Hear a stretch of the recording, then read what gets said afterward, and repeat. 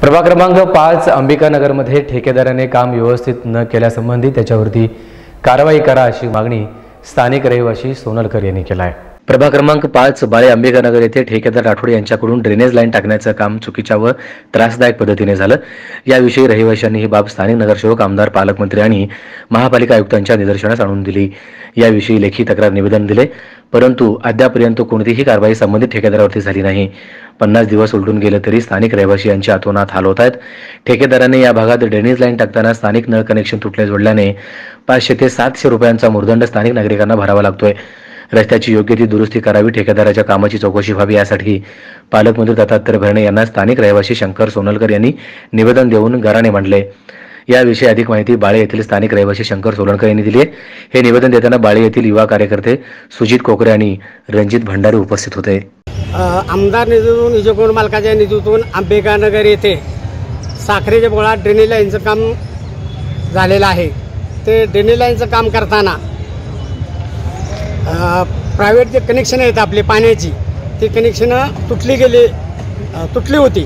ते तुटल्यानंतर त्या ठेके संबंधित ठेकेदारनं जनतेकडून पैसे वसूल करण्याचं काम चालू केलं होतं. आम्ही स्वतः कार्यकर्ते घेऊन तिथे गेलो. बाबा म्हणलं हे तुटल्याला जोडून देण्याचं जबाबदारी तोडलं तुम्ही म्हणल्यानंतर जोडून तुम्ही द्यायचं आहे.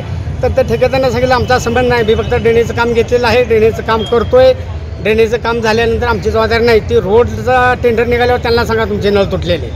मग त्यांच्याकडून त्या संबंधित ठेकेदारांना एका माणसाकडून पाच पाचशे सात सातशे रुपये वसूल करून त्या गोरगजे कनेक्शनं जोडून दिलेले आहेत.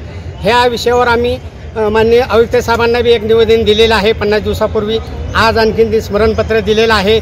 पण आत्तापर्यंत काय कारवाई झाली नाही. त्या रोडचं काम व्यवस्थित लेवल त्यांनी के- न केल्यामुळं बरेच आमची वयस्कर माणसं बिनसं बोळातनं जाणं कठीण झालेलं आहे. तरी कृपया आम्ही दिलेल्या निवेदनाचा त्वरित विचार करून भरणेबाबाला आम्ही निवेदन दिले भरणेबाबाने आश्वासन दिलं तर आम्ही चौकशी करून तुमचा रोड व्यवस्थित करणं करून द्यायला लावू. परंतु पन्नास दिवस झाले अजूनही तो रोड व्यवस्थित केला गेलेला नाही.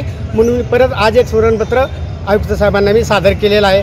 कृपया हां कृपया ह्याची दखल घेऊन त्वरित आमचा येण्या जाण्यापुरता रस्ता व्यवस्थित करून द्यावा अन्यथा आम्ही थोड्याच दिवसात जन आंदोलन उभा करून उपोषणाला बसू असं मी तुम्हाला सांगू इच्छितो. कपड्यांचा ढीग जर तुम्हाला दुकानात आढळला तर तुम्ही कपडे कसे विकत घ्याल? सर्व भाज्यांचं मिश्रण तुम्हाला बाजारात आढळलं तर तुम्ही भाज्या घ्याल? डाळ तांदूळ आणि इतर किराणा मालाचं मिश्रण आढळल्यास किराणा सामान विकत घ्याल? सगळं काही वेगळं झालं तर सोपं होणार नाही का? अशाच प्रकारे कचरा वेगळा झाल्यास कचऱ्यावर प्रक्रिया करणंही सोपं जातं. प्रत्येक सुक्या कचऱ्यासाठी निळ्या रंगाचा डबा. ओल्या कचऱ्यासाठी हिरव्या रंगाचा डबा धोकादायक कचऱ्यासाठी लाल रंगाचा डबा सुका कचरा काच लाकूड चामडं प्लास्टिक धातू कापड रबर कागद इत्यादी.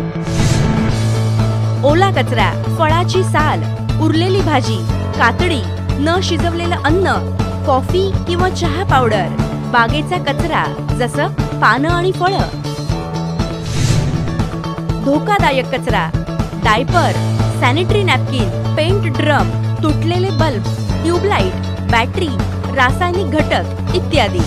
सौजन्य सोलापूर महानगरपालिका सोलापूर.